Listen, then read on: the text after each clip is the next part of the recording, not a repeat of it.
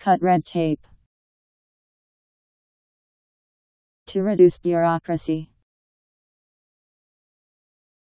C U T R E D T A P E. Cut red tape.